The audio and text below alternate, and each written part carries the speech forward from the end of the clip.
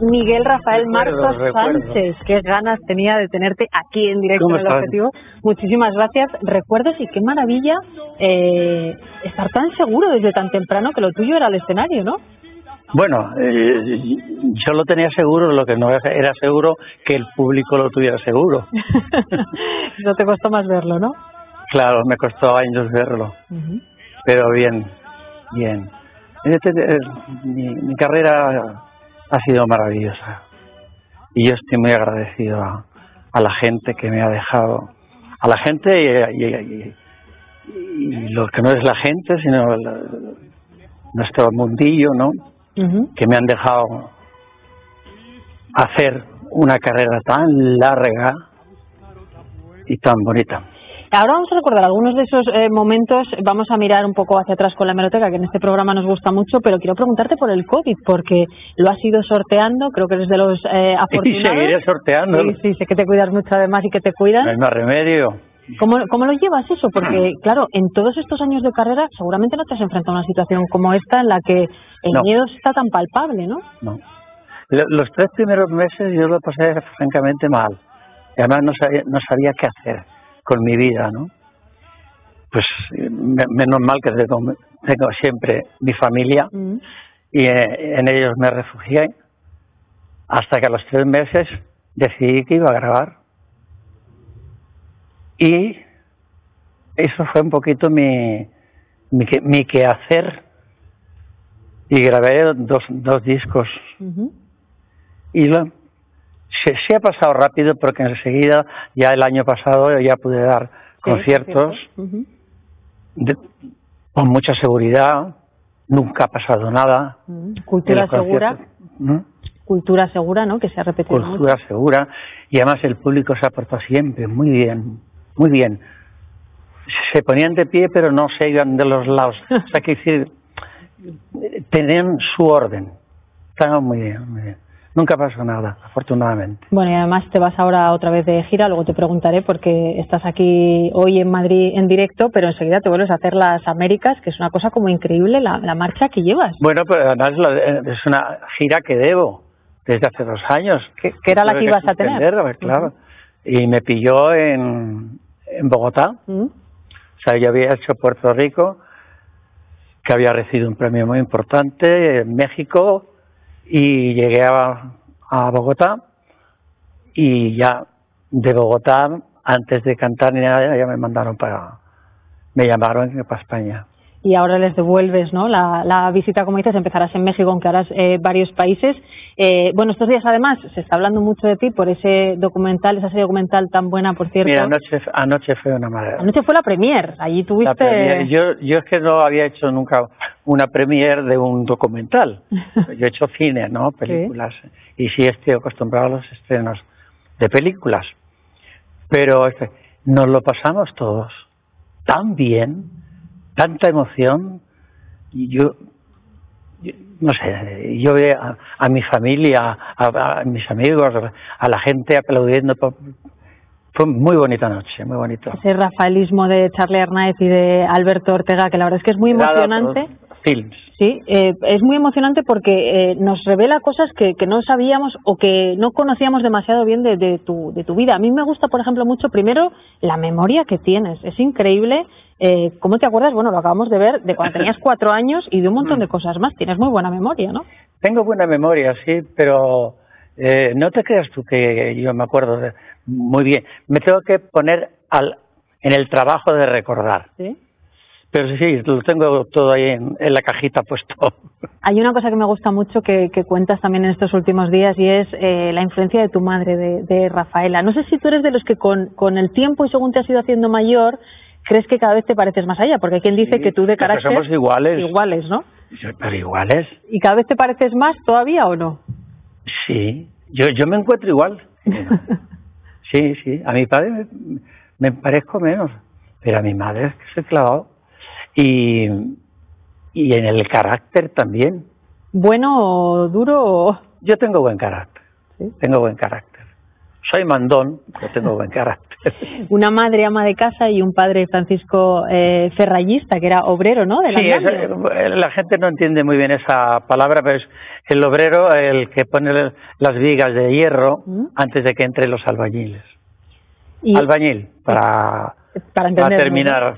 Eh, es verdad que en la, en la, en la historia familiar, sí, hay, hay muy chiquitín. en esa historia familiar, claro, tú serías un poco un marciano, porque yo me puedo imaginar esa familia y en ese momento en el que tú eh, no solo querías dedicarte a lo que te has dedicado, sino que te gustaba mucho ir al teatro y en tu casa eso no se veía bien. Te he oído contar alguna vez que volver no, no, No es que no se viera bien, no se veía. y entonces cuando yo me destapé y me fui con, no sé, 10 años o 11, muy chico todavía. Me fui desde Alvarado, que está en Cuatro Caminos, andando hasta, pues eso, hasta Gran Vía y al Calderón. ¿Tú solo? Sí, solo. Y yo iba y venía. ¿Mm? Iba por las tardes y yo tenía la, la suerte de que me, dejaban entrar gratis en, los teatros. O sea, yo me ponía en la puerta del teatro al lado, al lado para no molestar, y pasaba todo el mundo, y yo siempre decía que algo habría, alguna butaca se quedaba siempre vacía. para este pobre niño, ¿no? Sí, no, no decía nada, yo me quedaba ahí así mirando, y siempre había el portero, que son todos unos buenazos, ¿qué? ¿Otra vez por aquí? ¿Qué quieres? ¿Quieres pasar? Sí, pasa. y yo me veía todo el teatro. Pues el primer día que lo hice, y cuando volví a casa, era la una y pico de la mañana. Y me llevé un bofetón de mi madre, pero bien, bien, puesto. No te dio ni para explicarle, ¿no? No. Y, y yo con este sentido lo humor así que tengo extraño, digo, ah, ¿Empezamos ya? Pues, pues empezamos bien, porque esto lo voy a hacer todos los días. O sea que te Porque yo voy a ser, voy a ser artista. Y los artistas terminamos a esta hora. Con 11 años. ¿Y tu madre qué dijo? Me diría, no lo sé, porque eso no lo recuerdo. Alguna cosa me diría. Pero ahí zanjella la situación y tuve la suerte, la inmensa suerte, de que mis padres me dejaran hacer.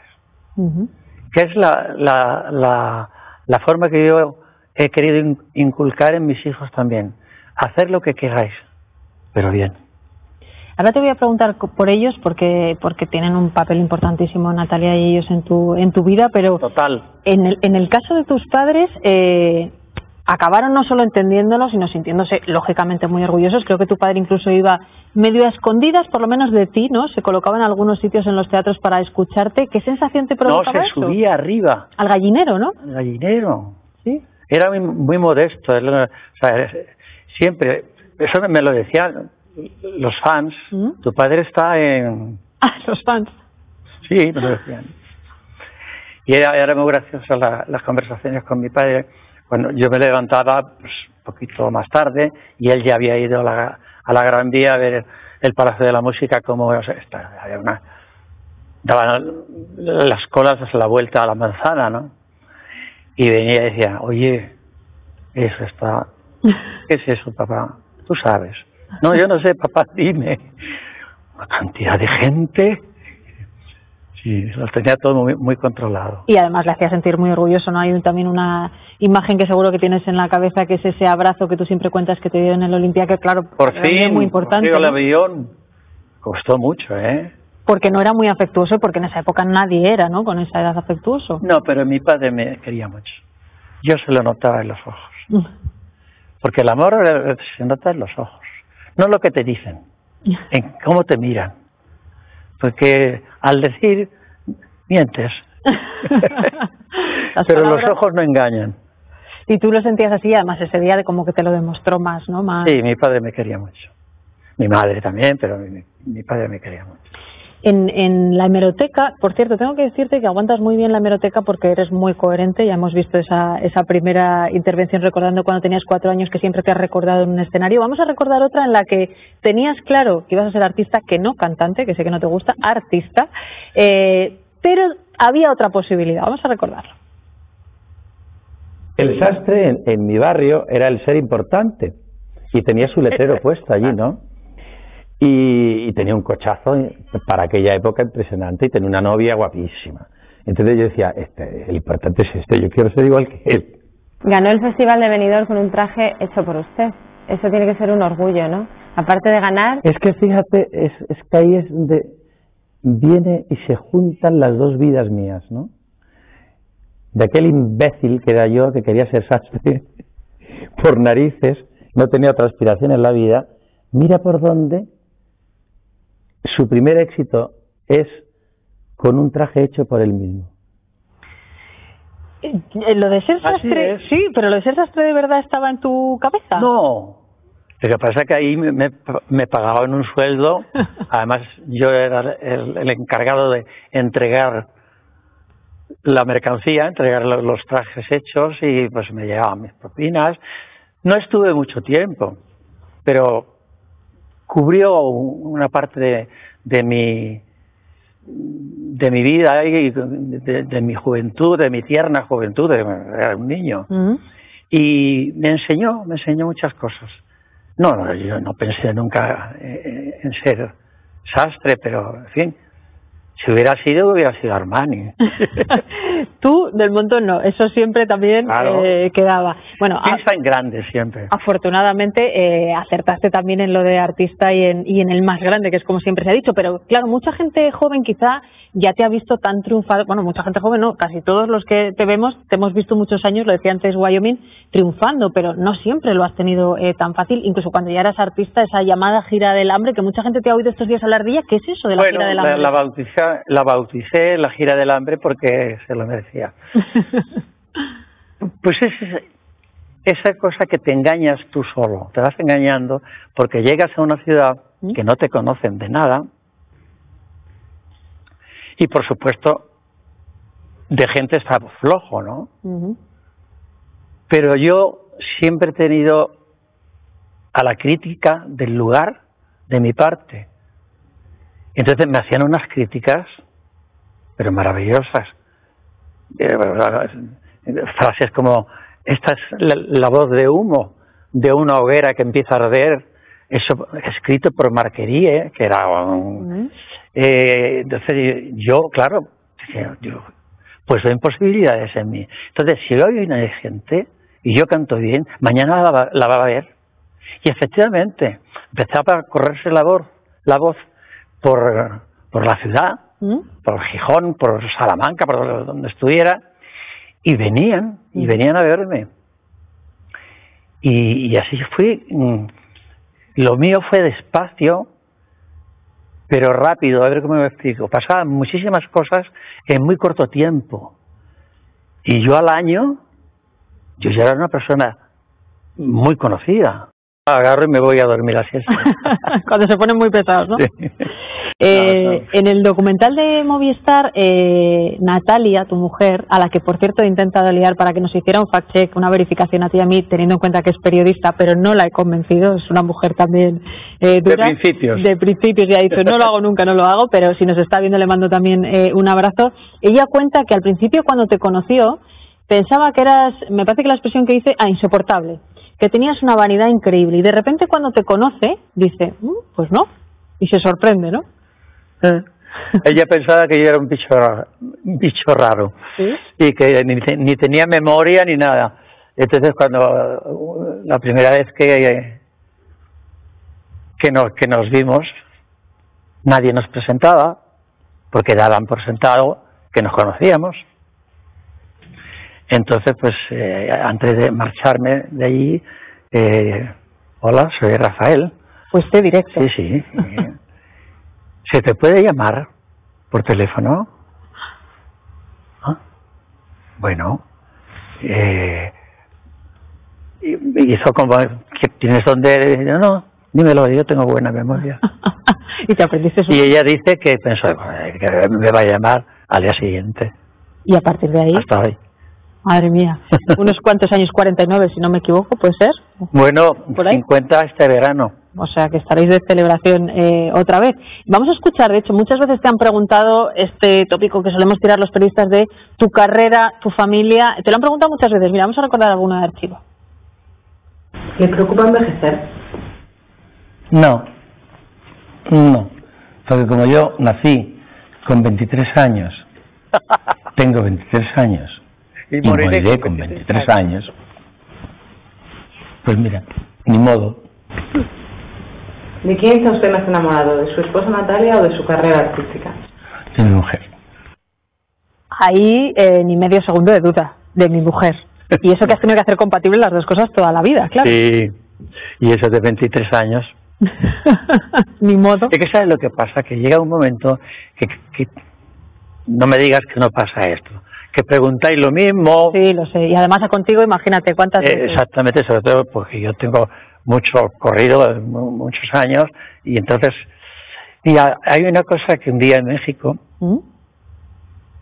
es que lo tengo aquí porque fue, yo una rueda de prensa, y normalmente mis ruedas de prensa en México son multitudinarias, eran, porque ahora ya la rueda de prensa casi más es Sí, por el COVID telemática, ¿no? No, exactamente, ahora nada. Pero ya en estos últimos tiempos, rueda de prensa, como se hacía antes, no se hacen. Todos quieren exclusiva, conmigo solo, conmigo solo. Mira que les entiendo, ¿eh? Y, yo, y yo os entiendo a vosotros. Porque la rueda de prensa, pues en realidad preguntan dos y los demás apuntan. Mm. Pues alguien me dijo, ¿no nota usted que hay muchísimos menos periodistas que el año pasado.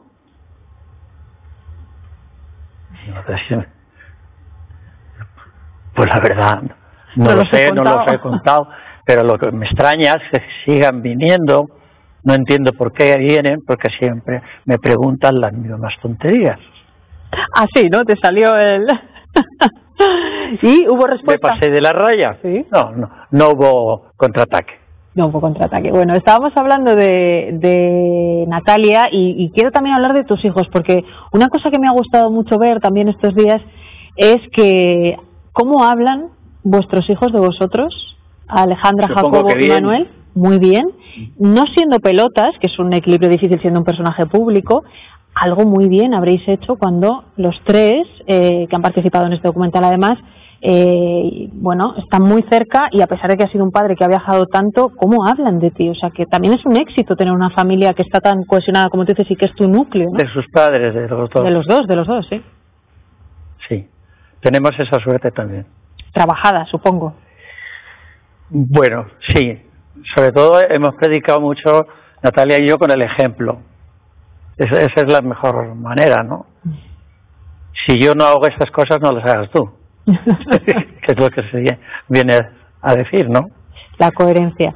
Y, y volver a nacer, que es algo que, que, celebráis también en casa, tu propio cumpleaños y luego en 2003 con el, con el trasplante. Ahora tengo dos cumpleaños. Ahora tienes dos. He leído que dices que es el suceso más importante de tu vida. Para ti, claramente, ese 2003 marca un antes y un después. Sí. Es que, es que todo lo demás aun siendo maravilloso, es que ese momento era mi, vida, mi vida, que se iba. Además por una memez, por una gilipollez absurda que fui aumentando sin, sin darme cuenta y sin todo por, por dormir, por dormir, por descansar, por descansar. Y se, se formó una pelota tan que pudo costarme la vida, pero vamos, yo, era una persona que yo, no he sido bebedor nunca. Mucha gente no sabe que, que estos días además lo estás contando y, no, si es que la verdad es casi nadie habla de sus demonios y esto es un demonio que había en tu vida y que no era público y es que durante un tiempo estuviste bebiendo y, había un problema con el alcohol. Yo no bebía por el hecho de beber, yo quería dormir y así eso empezó en los aviones. ¿Sí? En los aviones y después en los hoteles cuando pusieron los minibars. claro, yo jamás llamaría a la recepción de un hotel para decir, súbame usted mm. un tal. Pero no, no, puedo ni nombrarlos. Eh, porque no, porque yo soy yo y además no, no, está bien. es que no me gusta no me gusta, si yo no sé ni, ni cómo sabe el whisky, el whisky, yo no lo he probado nunca. Entonces, al inventar el dichoso minibar, ¿Mm? pues descubrí que ahí estaban las mismas botellitas de los aviones.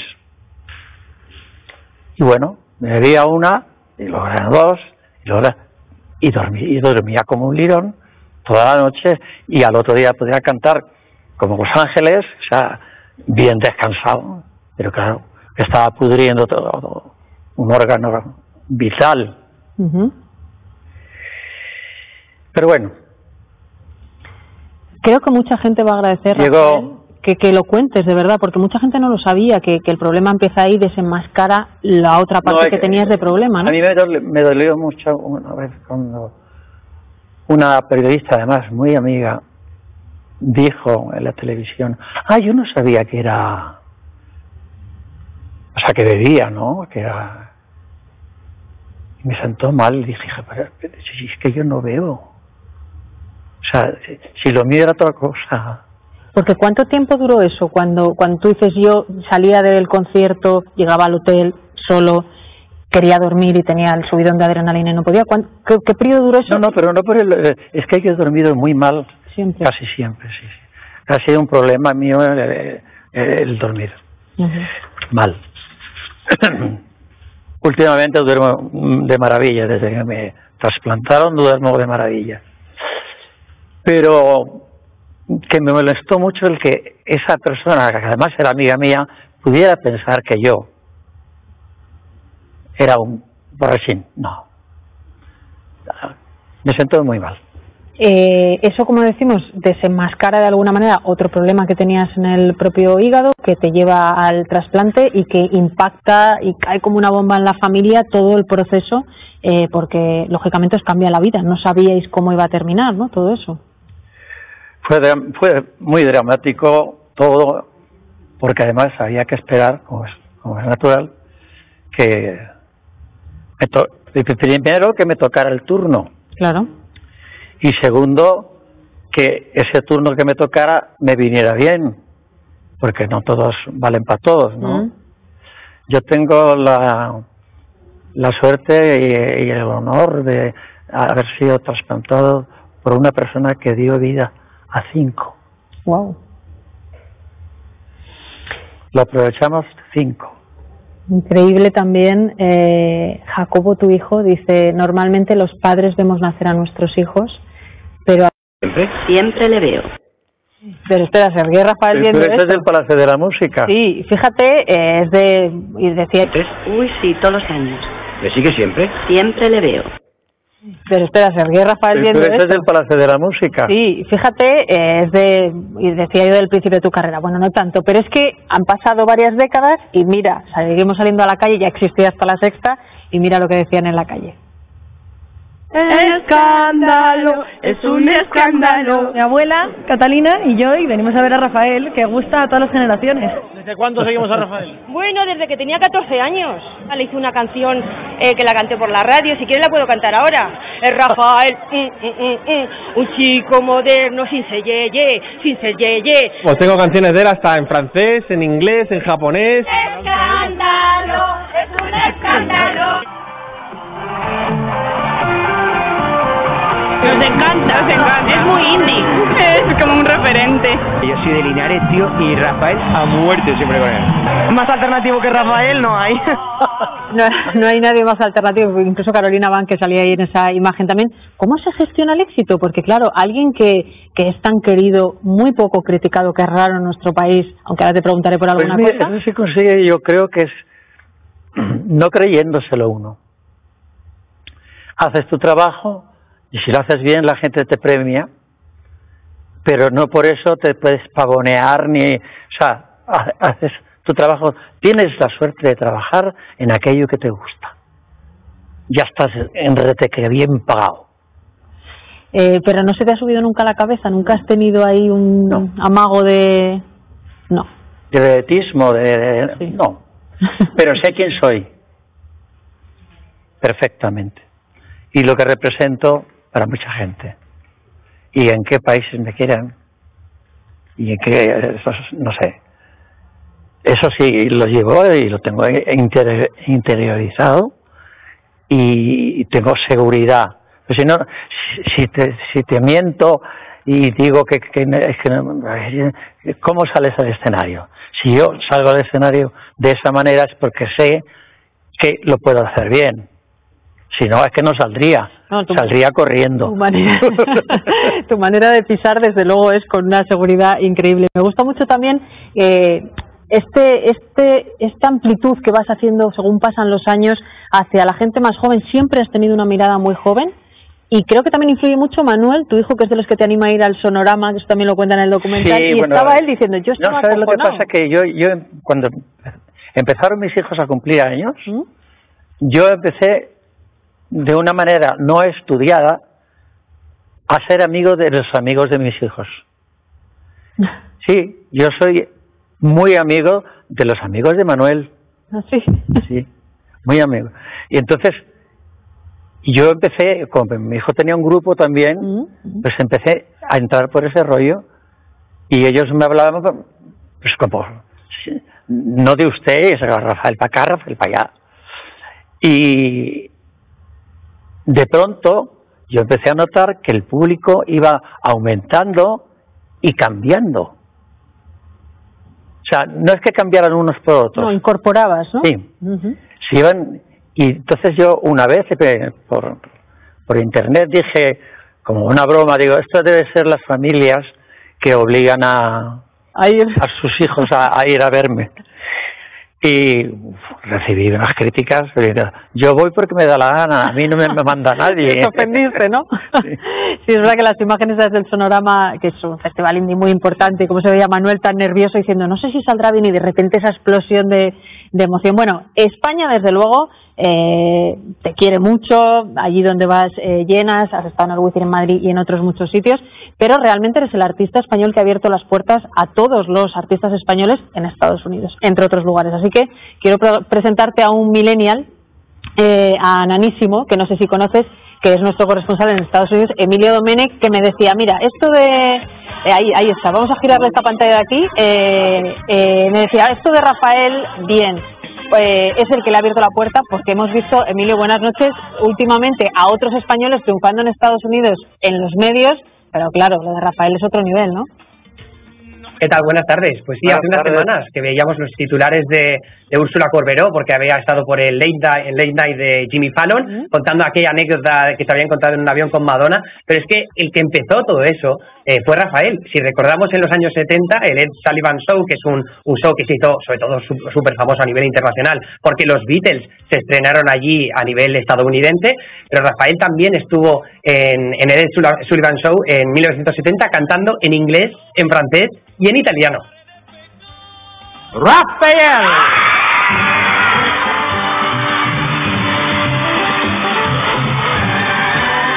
el escenario era como verbalizar un tornado. Y además lo comparaban con Tom Jones y con Esley, pero no solo eso, el crítico del New York Times decía que tenía mejor voz que ellos y que también tenía más encanto. Y luego, eh, más adelante, lo que ocurrió es que, eh, bueno, Rafael evidentemente se convirtió en una auténtica leyenda, no solo en, Estados Unidos, pero a nivel internacional, como hablábamos también en, el mercado estadounidense, pero eh, el Rafael también es muy famoso eh, a nivel cultural. Entonces, si nos metemos en Internet, queríamos ver cuál era la relevancia de Rafael a nivel de GIFs, de memes, de, la cultura pop de Internet, ¿no? Entonces, yo quería hacerte primero la pregunta, Rafael, de si en el WhatsApp con tus familiares y con tus amigos te comparten a veces stickers o GIFs protagonizados por ti. Si te mandan de estos en la familia hechos por ti mismo, que salgas tú haciendo algún gesto o algo por WhatsApp. No. Bueno, pues creo que Nanísimo te ha traído unos cuantos. Eh, ¿Ah, sí? Sí. Luego te los mandaremos al móvil para ver si se pueden utilizar. Dale, dale, Emilio. Claro, lo que queríamos hacer nosotros era buscarte a ti y a veces eh, el que salía muy protagonista era Rafael de las Tortugas Ninja. Pero eh, nosotros hemos querido hacer eh, los tuyos propios, ¿no? Entonces, eh, tenemos unos cuantos que te, vamos, que te hemos traído aquí.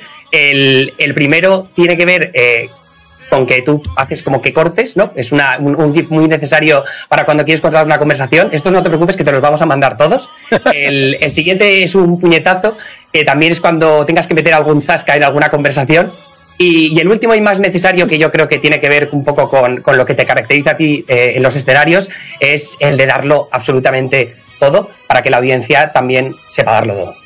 Eso está bien, el de, el de corta, corta, que esto igual cualquier Sí, día sí, sí, me lo hacen a mí bien, también con, un GIF. Eh, gracias, Emilio, por, por el. Y el puñetazo también. El puñetazo no está mal tampoco, sí. También se me ocurre utilizarlo a mí en este caso en alguna entrevista, que no en esta. Eh, el éxito en Estados Unidos, pero el éxito eh, en Rusia es una cosa también increíble. ¿Cómo aumentó el número de personas que se matriculan? Vamos. Sí, es- lo de Rusia sí, es in- totalmente inusual. Bueno, de hecho no ha vuelto a ocurrir. En eh, Estados Unidos es Yo verdad que me otros. acuerdo un día que levanté así la vista y oye a Brezhnev en tercera fila y que además repitió varios días Es- es- esas cosas. Y dices, pero chico, o sea, tú mismo te dices, pero tú, ¿y esto? Era muy curioso porque mientras eh, te estaba ocurriendo eso, eh, Rusia de ahora, eh, Unión Soviética entonces, aquí se te asimilaba con el franquismo, que es un tema del que también estos días estás hablando y, y que no sé cómo vives tú. Bueno, yo porque- nací con, con él aquí. ¿Mm? Yo, yo he tenido la, la oportunidad de estar en un país donde ha cambiado muchísimo. No, no, eh, profesionalmente no quiero ser de ningún partido, por- no debo de meterme en esas cosas. Tengo mis sentimientos, por supuesto, pero no tengo por qué publicitarlos. Pero, no eh, quiero. pero la gente te pregunta si eras cercano o no al franquismo, porque es verdad que luego en la democracia, oye, los, ¿Cómo voy a ser los- los partidos Lo que pasa es que yo, yo, le- yo le gustaba mucho a, las- a su, su señora que iba, a ver- que iba al teatro. iba, iba al teatro mucho además. Pero bueno, de y hecho, donde le daba la gana. sí, en esa época sobre todo. Y también hecho, la- he tenido la suerte de, de- de tener a, a la reina emérita muchas veces. Bueno, fue a ver. Bueno, eso son, las son cosas que suelen pasar.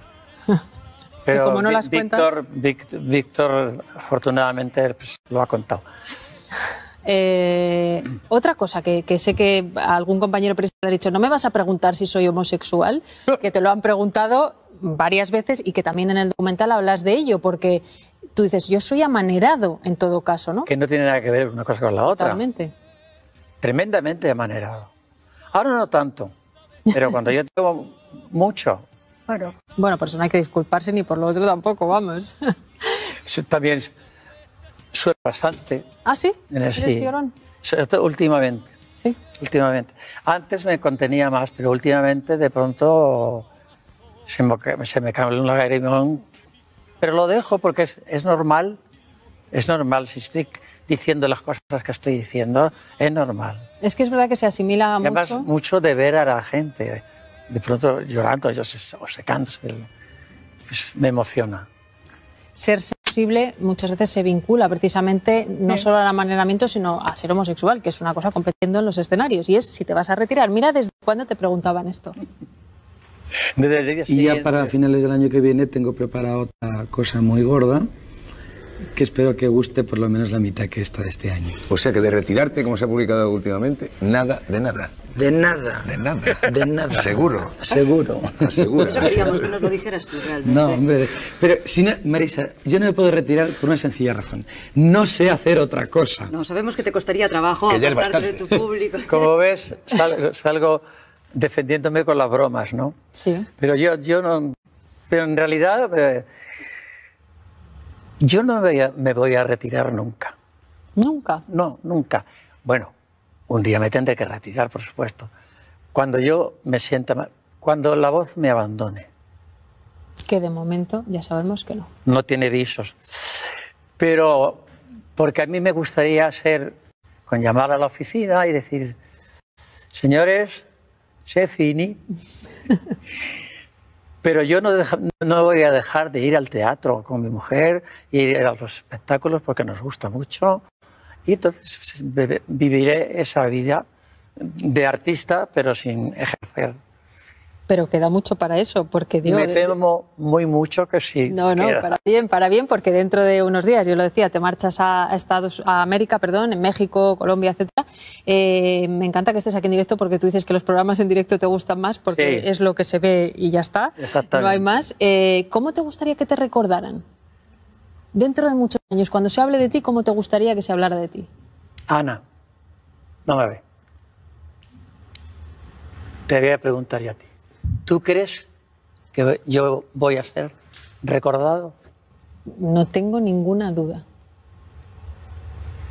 Pues ojalá, pero yo hasta que no llegue ese día no lo sé. Eso todavía te hace más grande, lo humilde que eres diciendo. No sé no, si no, será eh, recordado. Si tienes dudas, Pero la gente se le olvida mucho de muchas cosas. Bueno, fíjate las generaciones que te han bailado y cantado. Te agradezco muchísimo que hayas estado aquí, que sé que llevas un buen palizón, pero nos tumbas a todos. Ha sido un placer tenerte aquí y una suerte. Muchísimas gracias, Rafael. Muchas gracias a ti.